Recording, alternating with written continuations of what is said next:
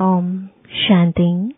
आज 23 अप्रैल 2024 बाबा के महावाक्य हैं, मीठे बच्चे। बाप जो शिक्षाएँ देते हैं, उन्हें अमल में लाओ। तुम्हें प्रतिज्ञा कर अपने वचन से फिरना नहीं है। आज्ञा का उल्लंघन नहीं करना है। प्रश्न है, तुम्हारी पढ़ाई का सार क्या है? तुम्हें कौन सा अभ्यास अवश्य करना है? उत्तर है, तुम्हारी पढ़ाई है वानप्रस्थ में जाने की। इस पढ़ाई का सार है वाणी से परे जाना। बाप ही सबको वापस ले जाते हैं।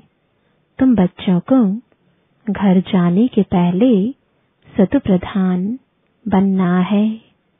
इसके लिए एकांत में जाकर देही अभिमानी रहने का अभ्यास करो अशरीरी बनने का अभ्यास ही आत्मा को सतु प्रधान बनाएगा।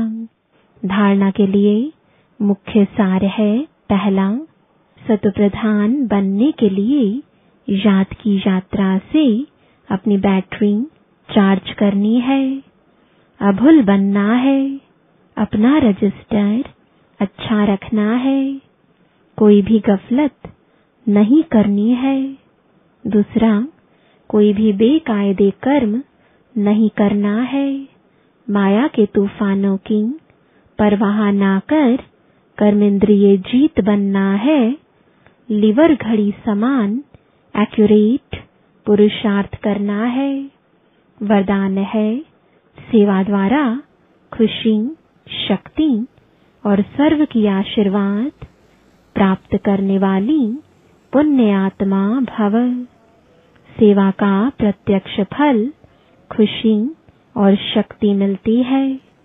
सेवा करते आत्माओं को बाप के वर्षे का अधिकारी बना देना यह पुण्य का काम है। जो पुण्य करता है, उसको आशीर्वाद ज़रूर मिलती है। सभी आत्माओं के दिल में जो खुशी के संकल्प पैदा होते, वह शुभ संकल्प आशीर्वाद बन जाते हैं और भविष्य भी जमा हो जाता है। इसलिए सदा अपने को सेवाधारी समझ, सेवा का अविनाशी फल, खुशी और शक्ति सदा लेते रहो। स्लोगन है, मनसा वाचा की शक्ति से विघ्न का पर्दा हटा दो। तो अंदर कल्याण का दृश्य दिखाई दे। ओम शांति। ओम